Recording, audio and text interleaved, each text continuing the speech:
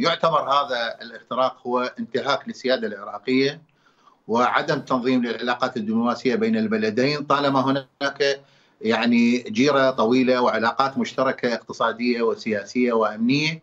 ولكن هذا الاختراق جاء لأسباب يعني عديدة وهناك ذرائع متكررة من قبل الجانب التركي باعتبار أنشطة حزب العمال الكردستاني تهدد الأمن التركي وتتخذ من شمال العراق ملاجئ لها للقيام بعمليات عسكرية ضد تركيا ولذلك جعلت هذه الذريعة يعني سبب أو فرصة للتدخل أكثر من مرة.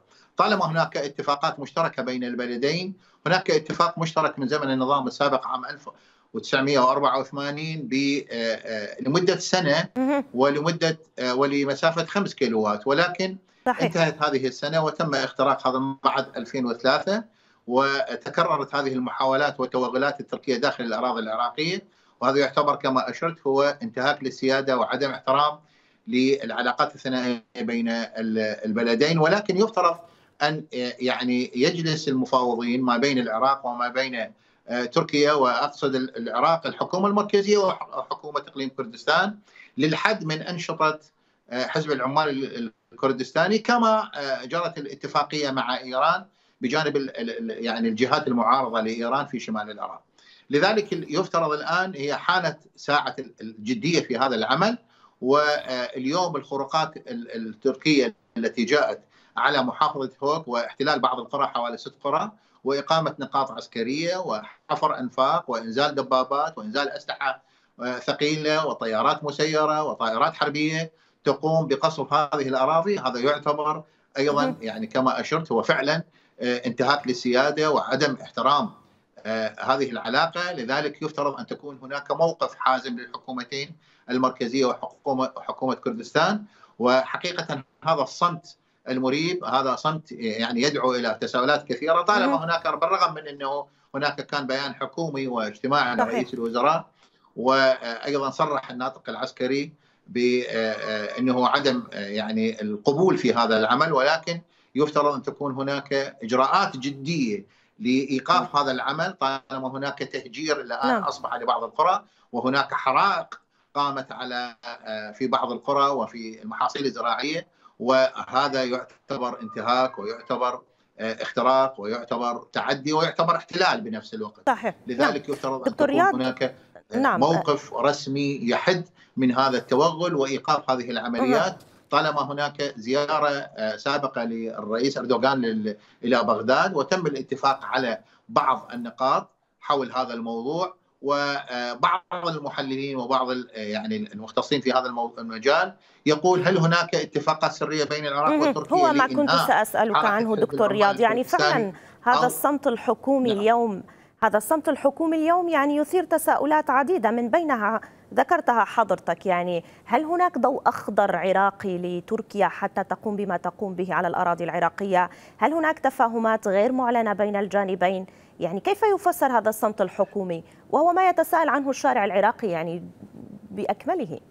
نعم هناك تكهنات وهناك تحليلات يقولون لا يمكن للجانب التركي أن يقوم بهذا العمل الشاسع والكبير والعمليات العسكرية الكبرى في هذا المجال إن لم تكن هناك موافقة مسبقة أو ضوء أخضر اتخذ من قبل الحكومتين ولكن هذه التصريحات التي تأتي من هنا وهناك هي مجرد ذر الرماد بالعيون والاستهلاك الإعلامي. طبعا وجود حزب العمال الكردستاني مع بعض المتعاونين من قبل بعض الأيزيديين وبعض الميليشيات والفصائل لهذا الموضوع. جاء يعني حقيقة أربك الوضع بشكل عام يعني هناك حسابات وهناك تصفيات سياسية وعسكرية في هذا المجال، لذلك أنا أعتقد الصمت الحكومي وعملية لكن اتخاذ هو يعني يتذرع و... يعني كما يتذرع النظام التركي دوما. هناك اتفاقات سرية حول هذا دكتور رياض لا اعلم إذا كنت تسمع وتعاون ما بين الجانبين لإنهاء حركة حزب العمال الكردستاني والبارحه أيضا كان هناك لقاء لأردوغان طيب طيب هذه هذه حجة للنظام التركي دكتور رياض. يعني هذه حجة للنظام التركي. هو دائما يتذرع بمحاربة حزب العمال الكردستاني. يعني اليوم هو يحتل قرى مدنية. هو يتسبب بنزوح مدنيين. هو يتسبب بمقتل مدنيين. أين حزب العمال الكردستاني هناك في هذه القرى المدنية؟ يعني يعني يعني جميع المراقبون يرون بانه كل تدخلات تركيا اليوم هي تحمل بصمات الاحتلال.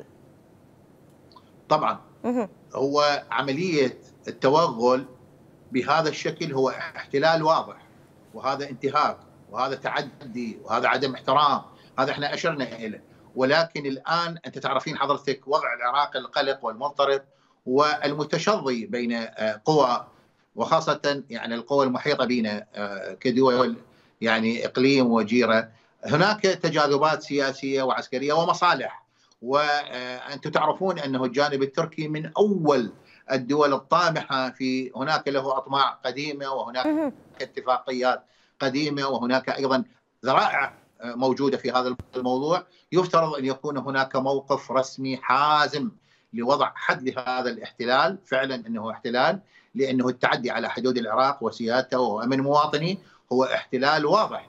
وهذا عملية مثل ما أشرت حضرتك عملية القتل والتهجير والحرائق وقرى كثيرة هجرت وهناك نصب سيطرات أمنية في داخل الأراضي العراقية وعملية تفتيش. هذا يعتبر احتلال وانتهاك نعم. لذلك يفترض أن يكون هناك موقف رسمي واضح لعملية إيقاف هذا التوغل والاحتلال التركي.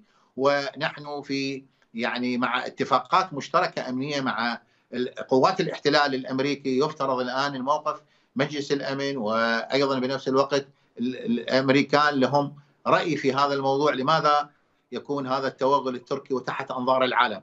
يفترض الآن أن تكون هناك وقفات شعبية وحكومية رسمية وأيضا دولية لدعم العراق في هذا الموقف.